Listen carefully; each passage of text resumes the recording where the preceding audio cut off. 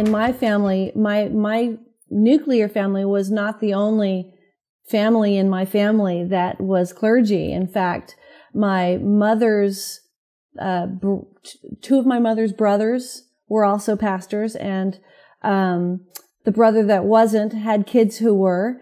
And my dad, my dad's sister was married to a pastor and it was like going to either side of the family. Was like going to a pastor's conference. Um, and so I am the only Catholic on either side of the family. I mean, biologically linked to this either side.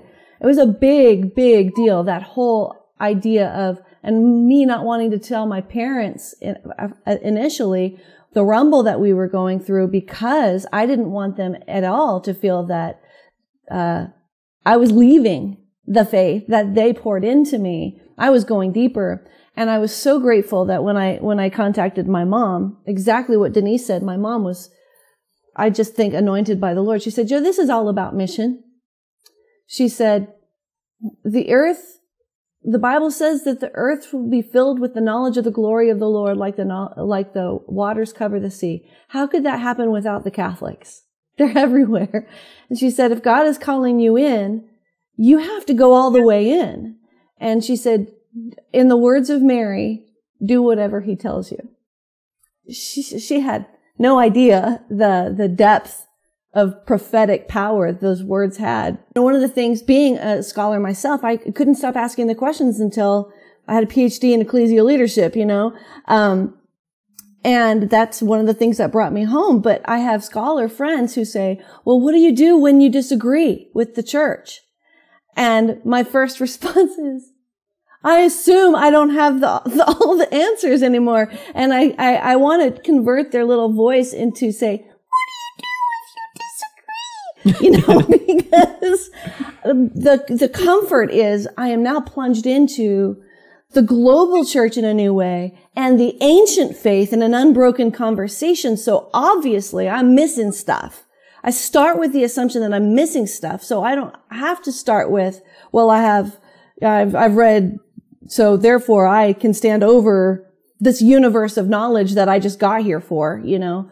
Um, and so that's deeply relieving to me. Those are the big things that, that I d- so profoundly embrace that I could never ever not be Catholic now. Matt, yeah, if I, I could just, so, if I could yeah, just go ahead. with one one um, thought.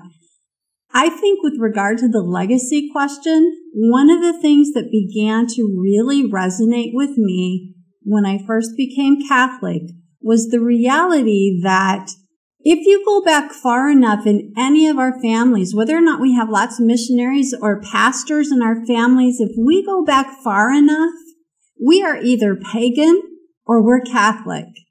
So, so the legacy question is, I have joined the legacy of my family. I don't know how far back, but it is not abandoning any legacy at all, but it's reclaiming a legacy um, of a church history that had been lost in in the Re- Reformation. And thanks be to God, um, I didn't lose anything. I gained everything in all of the treasure chests um, of all of the de- denominations that really go back to the full treasure chest of the Catholic Church.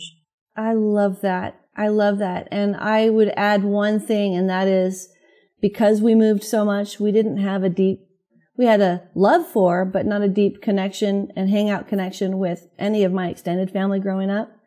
And the local church was constantly moving. And so it felt like we were always on the outside trying to make our way in and being plunged, plunged into the legacy of the Catholic Church. I, in such a deep sense, I feel like I am home anywhere in the world when I go to the Basilica in DC, when I go to, you know, the Spanish missions in California. I walk in and I'm like, welcome to my home. This is, let me show you around. I don't even have to have been there before, but I know now how to show people this legacy that is now mine, you know, mm-hmm. and that is so meaningful to someone who always felt like a nomad, always felt like I didn't get to have roots, you know, and that was a sacrifice that I would just give up to the Lord. It's like that hunger is satisfied by plunging myself into the family of God. Being in Christ, the communion of the saints, has never been more precious to me.